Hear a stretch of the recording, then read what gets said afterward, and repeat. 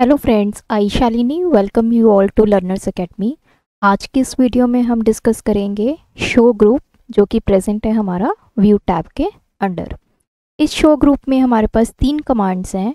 First is ruler second is grid line और third है navigation pane तो एक एक करके हम इन कमांड्स को समझते हैं। फ़र्स्ट है हमारा रूलर रूलर क्या होता है? एक स्केल जो आपके डॉक्यूमेंट के ऊपर व्यू होता है at the top of your document तो देखिए, यहाँ पे मैं इसको टिक करूँगी।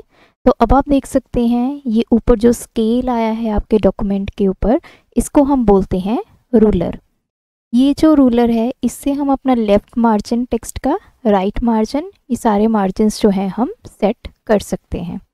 अगर आपने टेक्स्ट के मार्जिन को इंक्रीज़ या डिक्रीज़ करना है तो वो आप रूलर की हेल्प से भी कर सकते हैं। देखिए इस तरह आप अपने टेक्स्ट को मूव करवा सकते हैं। सिमिलरली अगर आपने राइट मार्जिन को इंक्रीज़ या डिक्रीज़ करना है तो यहाँ से उसको भी आप कर सकते हैं।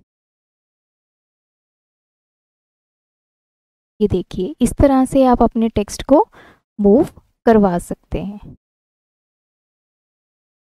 अगर आप इसको अनटिक करेंगे तो क्या होगा?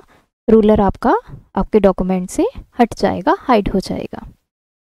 नेक्स्ट ऑप्शन है हमारे पास ग्रिड लाइन्स ग्रिड लाइन्स क्या होती हैं? आपके डॉक्यूमेंट के बैकग्राउंड पे आपकी लाइंस अपीयर होंगी जैसे हमारे एक्सेल में होती हैं.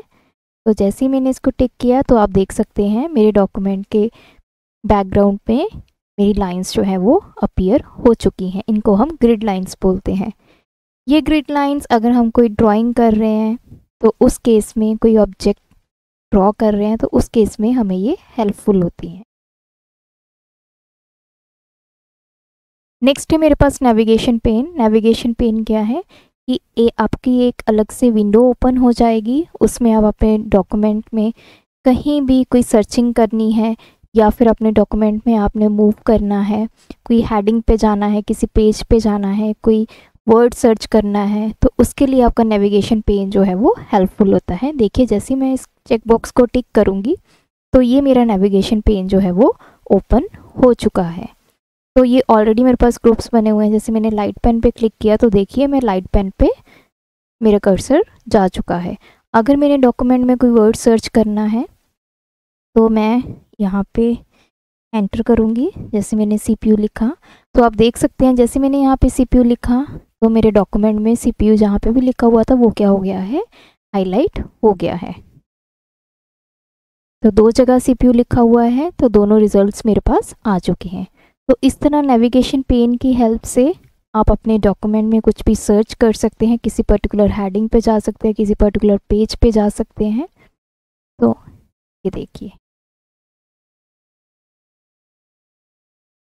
नेविगेशन पेन को हटाने के लिए या तो आप यहाँ से क्लोज बटन को क्लिक करेंगे या फिर यहाँ पे इस बॉक्स को अनचेक कर देंगे तो आपका नेविगेशन पेन जो है वो हट जाएगा।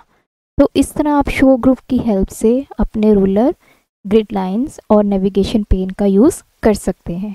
अगर आपको मेरी ये वीडियो अच्छी लगी तो हमारे चैनल को सब्सक्राइब कीजिए वीडियोस को लाइक कीजिए। Thanks for watching my video keep supporting us